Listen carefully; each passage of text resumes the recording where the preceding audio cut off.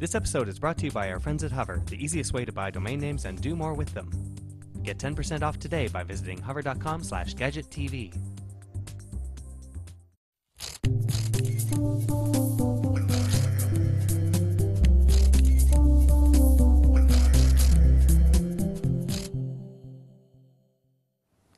Hi, this is Andrew Moore Crispin for Gadget TV on Butterscotch.com, and today we're taking a look at the PLX Kiwi Wi-Fi. This device is about $150, and what it is is actually a diagnostic computer for your car.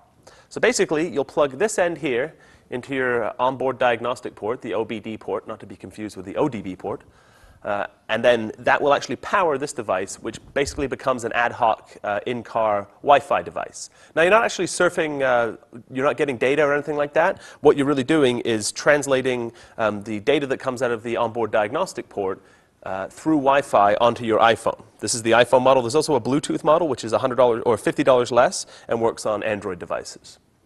So you can see here, this is actually just a screen cap of uh, the setup process. You'll see the device appear here in your list of Wi-Fi networks. And then after you've connected, you can do things like you can get a, a read on your speedometer. This is actually a direct screen cap from within the app. And you can choose uh, some different options for how the speedometer is going to look. You can look at it in either um, a vertical or a horizontal configuration. Now you can get data like uh, fuel trim, torque, uh, there's like air pressure, all kinds of really detailed data. So if you're a gearhead, something you might really want to take a close look at.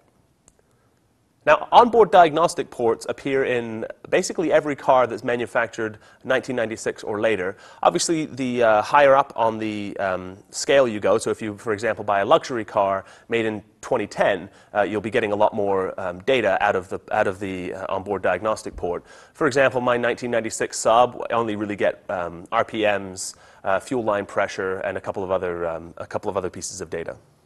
Now, important to note that after you purchase this device, you will have to download uh, one of a couple of different applications. Uh, we have them here on the iPhone. This is Rev. This one costs, I believe it's uh, about 50 bucks. Uh, Dash Command, that one's $40. Another option is Fuzzy Car, which won't give you quite the level of uh, detailed data that you'll get in the other two that I mentioned, but it is free. One other important note is that you can actually uh, you can do diagnostics of your vehicle uh, on your iPhone. So you can, for example, if your check engine light comes on, you can find out why. Uh, if it's an unimportant check engine light, you can actually reset it and solve the problem yourself. So if you're a backyard mechanic, something you'd really want to take a look at. Like I said, if you're a, a, a gearhead uh, racing around the track, again, something you might want to take a look at. So that's a quick look at the PLX Kiwi Wi-Fi. For Gadget TV, I'm Andrew Moore Crispin. For more sweet stuff, visit butterscotch.com.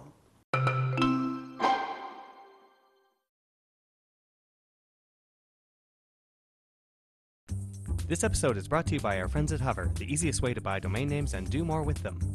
Get 10% off today by visiting hover.com slash gadgettv.